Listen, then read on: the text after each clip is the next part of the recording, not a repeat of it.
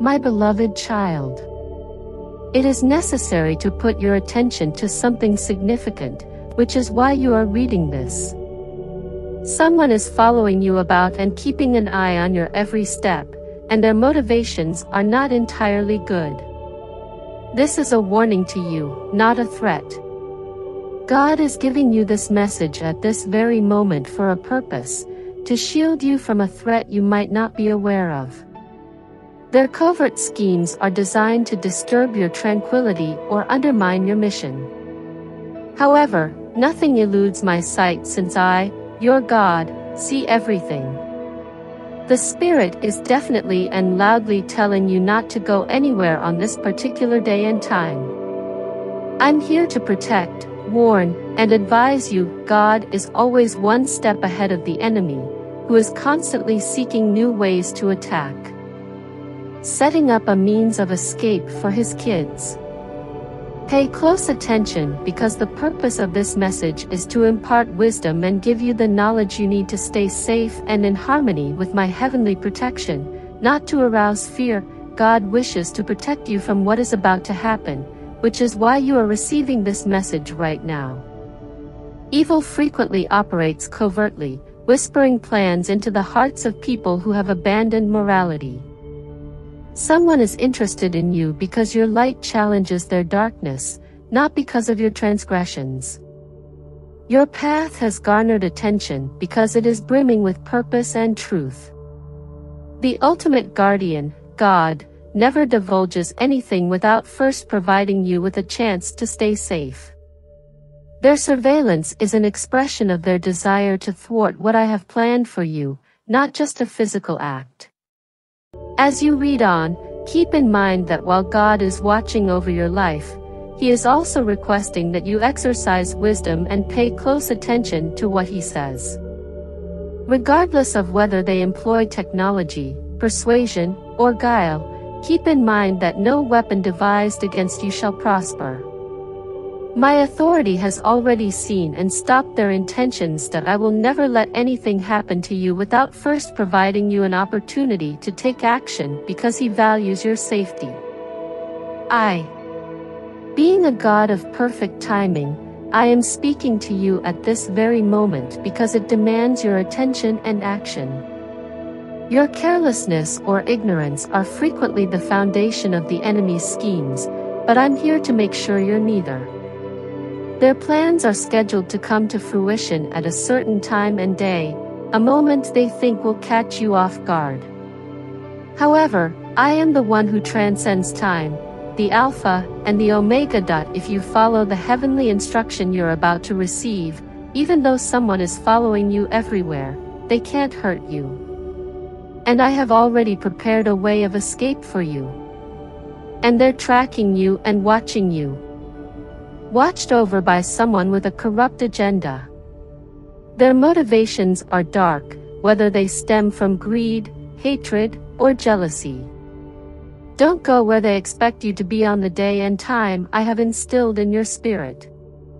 It's simple to dismiss these feelings, believing that you're simply being paranoid, but God is trying to remind you to pay heed to that inner voice that keeps telling you not to disregard it. Avoid it, whether it's a site you often visit or one you had planned to visit. This is a call to act wisely, not to live in terror. Your compliance with my warning will negate the effectiveness of their schemes. If their motivations are known, there are a variety of reasons why someone might be following you. Lean on me when you're feeling unsure or nervous. I will grant calm and clarity if you pray.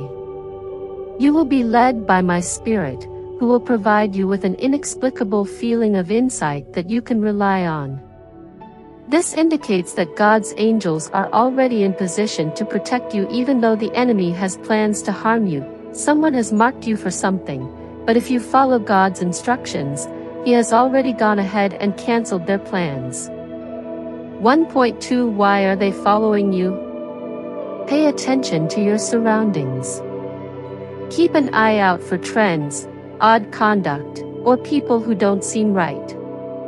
Awareness is a shield, and I will heighten your senses to perceive what needs to be seen. The enemy is using this individual to try to thwart God's intentions for your life. However, keep in mind that Psalm 91 verse 11 informs us because he will give his angels instructions to protect you at all times.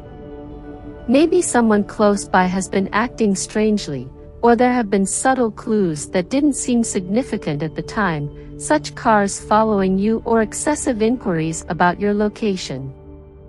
As long as you remain behind the shield of God's wisdom, their schemes will fail, regardless of whether they are driven by envy, greed, or something darker. God's protection is active, strong, and unwavering. It is not passive. His angels are on duty, and as long as you stay under his protection, they won't allow anything bad to happen to you. The good news is that nothing is hidden from God, who sees everything. God shows you what they are planning behind closed doors. This warning is meant to awaken you, not to frighten you.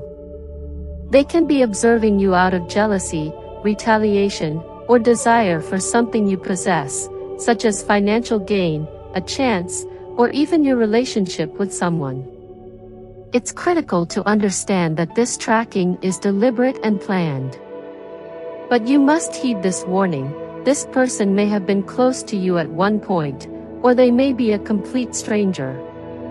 Either way, their intentions are not aligned with God's will for your life. The enemy's plans can only be successful if we disregard the Holy Spirit's instructions. If God has revealed a specific date and time when danger is near, do not leave your home. Your comments have the ability to destroy the schemes of those who would do you harm. Recognize that although the opponent is crafty, they are not all-knowing. They have boundaries, but I have no boundaries. It is pointless for them to track and conspire against my sovereignty. The enemy uses fear to paralyze you and divert your attention from your goal. However, according to 2 Timothy 1 verse 7, I have given you a spirit of strength, love, and clear reasoning rather than one of fear. You are being urged to stand back, pay close attention to what he has to say, and stay away from the area where this guy intends to attack. While it is natural to feel uneasy in moments like this, remember who you are and whose you are. You are my child, shielded by my promises and surrounded by my angels. They encamp around you, ready to intervene at my command. God is not only alerting you to this possibility, but also providing you with the knowledge to steer clear of it completely. This message should not be taken lightly. It is a shield offered before an attack, a gift of forewarning. You have a responsibility to listen, have faith, and behave sensibly while I protect you. The purpose of this circumstance is to make you stronger, not to hurt you. The divine protection over you, chapter 2, how God is protecting you now, 2.1 God's protective hedge. Even if you can't see them, God has erected a hedge of protection around you at this very now. Haizong. God frequently communicates with us through uneasiness or caution. Something is most likely not correct if it doesn't feel right. Chapter 3 Let me use this opportunity to remind you of how much I adore you. I actively participate in your life, planning every aspect to guarantee your success and safety rather than just watching from a distance. The time and date you have to stay away from, God's particular directive for you. 3.1 Put this date and time in your calendar. Stay vigilant but not suspicious. Living in terror and exercising prudent care are two different things. Have faith that I will show you what you must see. Your biggest strength is communicating with me. I will grant you serenity and direction as you pray. In every choice, seek my counsel. God has made it very obvious that there is a certain time and date that you should not leave your house. It If necessary, postpone plans. If asked, alter your regimen. Minor modifications can have a big impact. You might be wondering why this is taking place.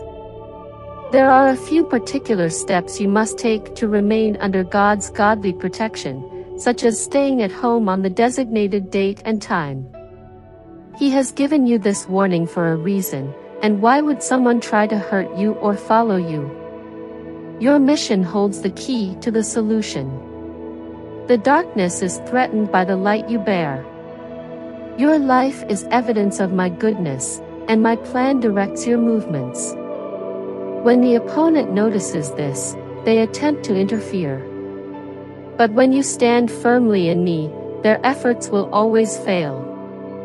If you've been feeling uneasy about particular individuals or situations, can be a day when you are more susceptible to an unplanned attack, or it might be a day when the person watching you is preparing something dangerous.